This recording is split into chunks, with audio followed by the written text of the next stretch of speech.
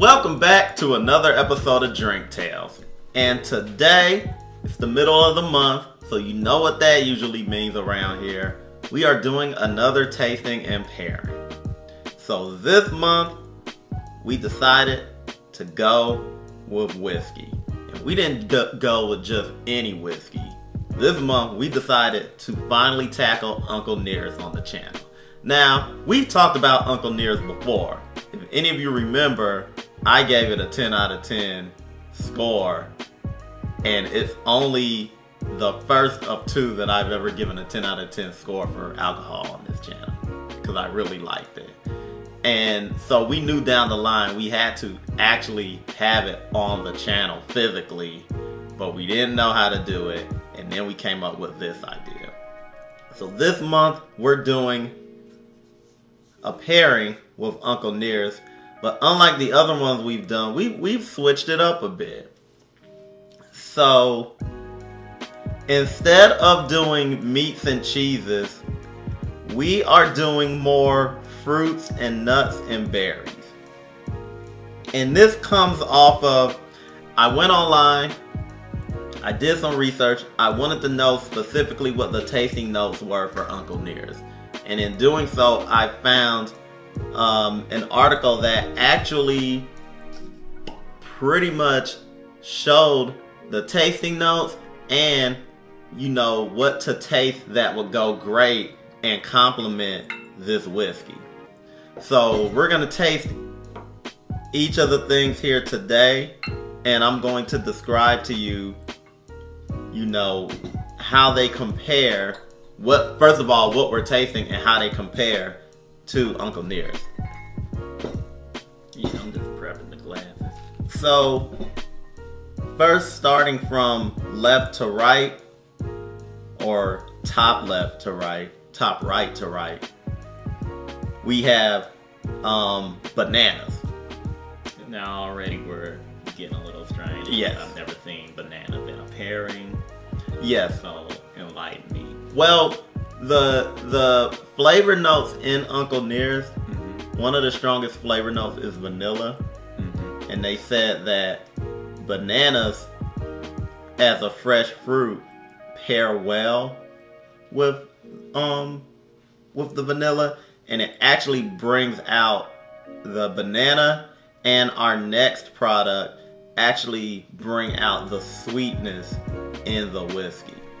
So do you want to try a piece of banana first? We're gonna yeah, we're gonna try a piece of banana and we're gonna sip it and we're gonna see if we get that.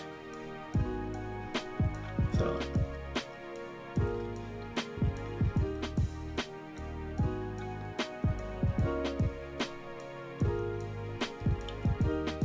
Oh yeah.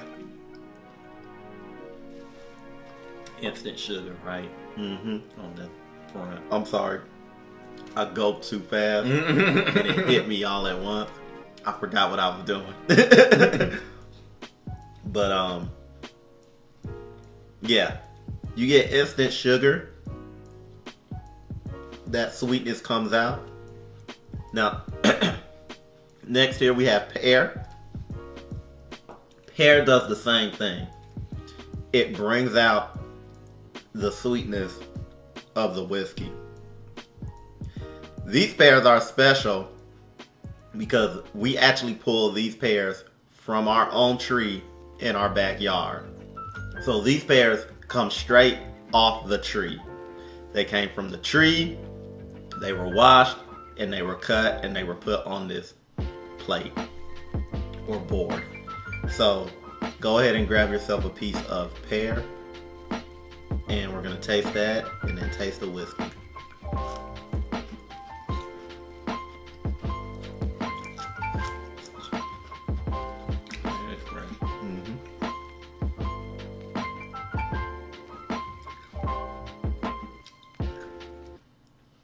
Yep.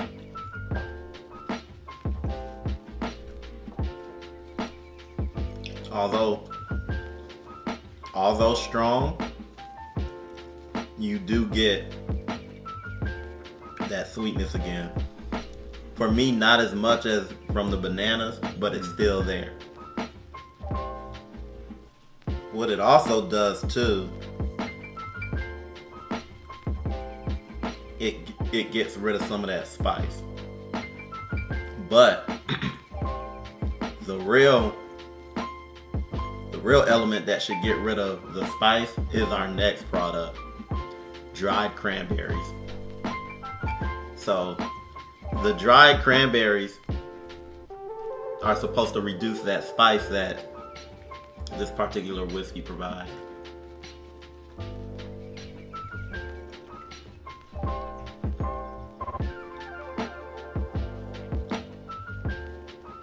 Yeah, it does. Mm-hmm.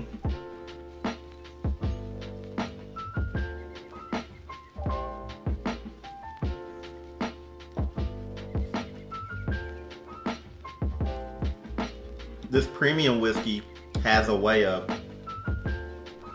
hitting your throat really hard, but those cranberries quell it. I'm still eating on this pear. Pretty good.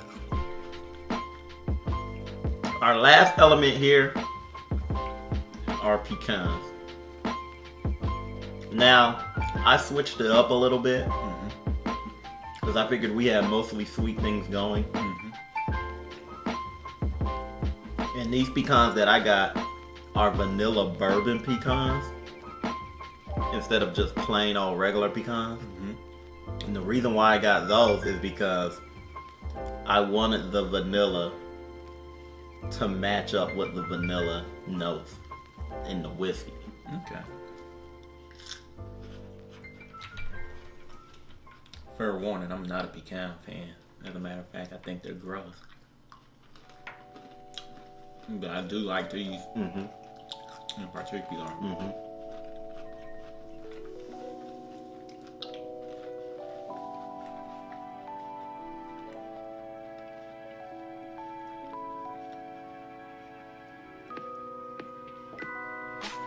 Oh yeah. That actually brought out a there was a slight tangy. Mm-hmm. Yeah, it brings out the pecans in particular. They don't bring out the sweetness. They quell the spiciness, but they also bring out a. I think they described it as a, a peatiness, so to speak. And that's what you're tasting.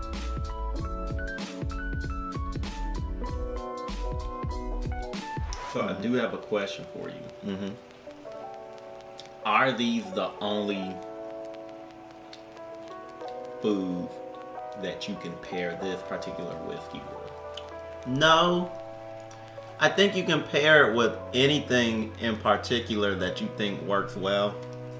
Whiskey, you can with whiskey and with everything. You can pair you can pair different foods, cheeses, meats, vegetables, fruits, depending on the tasting notes. um a lot of people like to uh, pair different types, different cuts of steak with different whiskeys. I hear meatloaf is good. Uh, smoked salmon is supposed to be pretty good. I actually wanted to do smoked salmon with this, but I figured we had such a theme going that I would keep with the theme. Um, trying to think what else. Um, Now that they point out smoked salmon, particularly with the Uncle Nearest. mm-mm. What about the steak?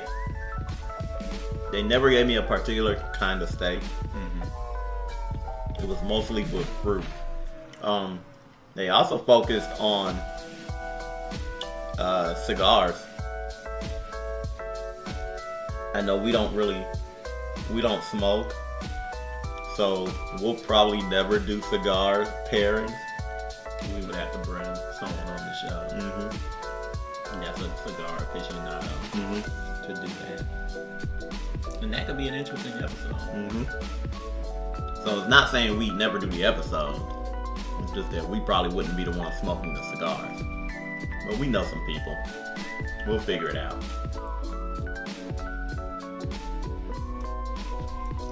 I do like the different taste I've been getting depending on what I've been eating Mm-hmm. with this. And I guess it's more dependent on what you want to bring out while you're tasting your whiskey. Mm-hmm. Now, I got one last question. Mm-hmm. Do you suggest these if you take your whiskey in a cocktail? No. And the reason why. So here's the thing. I don't suggest doing any tastings with a whiskey cocktail or with any kind of cocktail unless the tastings, the foods in particular, are paired to the cocktail, not just the particular liquor. And the reason why I say that is you're pairing food to one to one element Mm-hmm. and that element gets mixed in and lost with other elements in a cocktail. Okay. So all this stuff we have here wouldn't matter. Name a name a whiskey cocktail.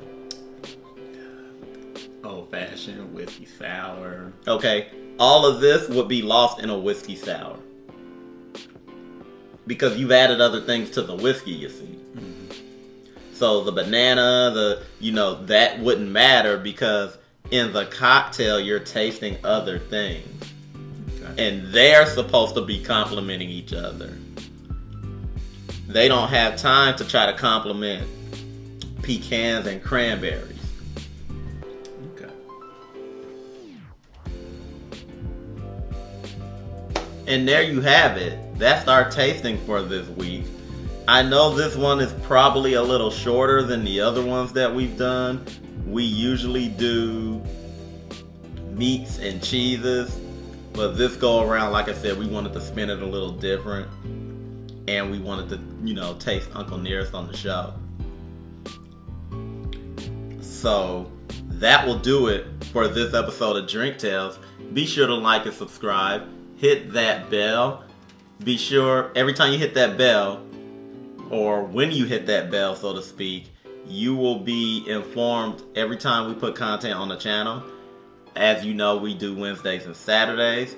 Also, be sure to check us out on Instagram. Also, be sure to check us out on Twitter. And until next time, peace.